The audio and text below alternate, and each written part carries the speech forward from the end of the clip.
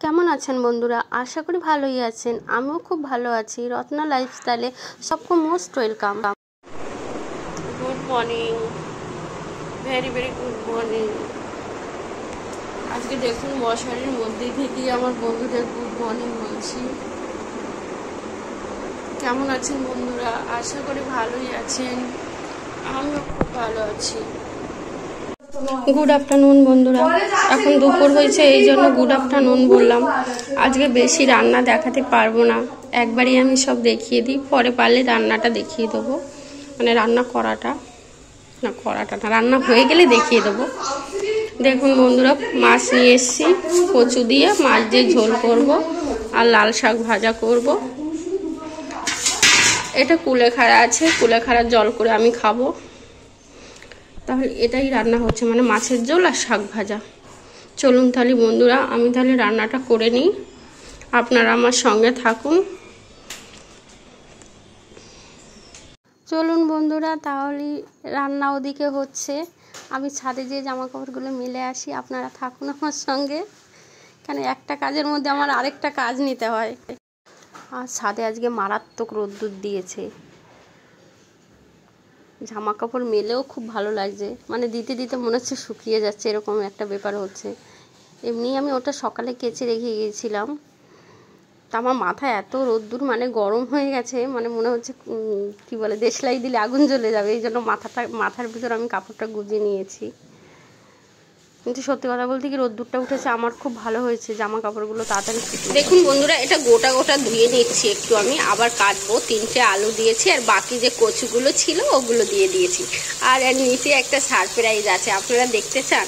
আমার না ছোট একটা পুকুর আছে। পুকুর মাতলাম, ঝিল আছে। ঝিল। চলুন তাহলে দেখে নিন। দাঁড়ান। দেখুন বন্ধুরা, এই লাল শাকের মধ্যে এত মাটি থাকে আর এত বালি থাকে, এই জন্য আমি এসেই আগে আর গোড়াগুলো কেটে এইখানে জলের মধ্যে ভিজিয়ে রাখি। তারপরে আমি গোটা গোটা মানে ধুয়ে নিয়ে তারপরে আমি ছোট ছোট করে কেটে নিই।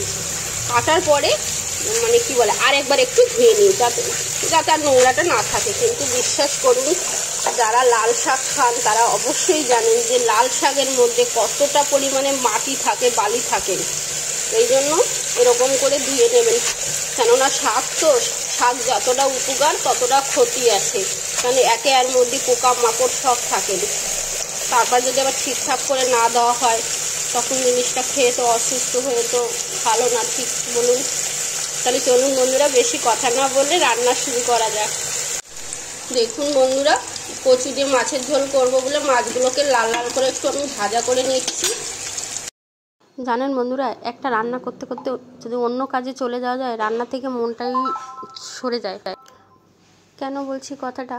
আমার একটু ওই কচুর তরকারির মধ্যে একটু ধনের গুঁড়ো, একটু জিরের গুঁড়ো দেওয়ার কথা ছিল, ওটা আমি দিতে ভুলে গিয়েছিলাম। বাট কি করা যাবে, ম্যানেজ তো করতেই হবে। তো এই জন্য আমি তো একটু মাছের মধ্যে ঘি ব্যবহার করি। তো ওই কড়ার মধ্যে একটু ঘি দিয়ে আর মশলাটা একটু জলে গুলে রেডি করে নিয়ে দিয়ে দিলাম মাছের ঝোলের মধ্যে। আর এই দেখুন, লাল শাক ভাজা করব বলে দুটো তিনটে শুকনো লঙ্কা ফোড়ন দিয়ে আমি তুলে রাখছি আর রসুন কুচিটা দিয়ে দিচ্ছি। এটা একটু হালকা ভাজা হয়ে গেলে শাক দিয়ে দেবো। আর লঙ্কাটা তুলে রাখলাম এই কারণে কারণ এখন যদি লঙ্কাটা দিয়ে দিই, ওই শাকের যে জলটা বেরাবে ওটায় আর লঙ্কার লঙ্কা থাকবে না। ওর যে ভাজা গন্ধটা, ওটা আর পাবো না। এই জন্য ওটা আমি লাস্টে নামানোর আগে দিয়ে দেবো। ফাইনালি আমার সব কাজ হয়ে গেছে বন্ধুরা। কিচেনও পরিষ্কার হয়ে গেছে। ভালো থাকবেন। এখানে তাহলে ভিডিওটা বন্ধ করছি।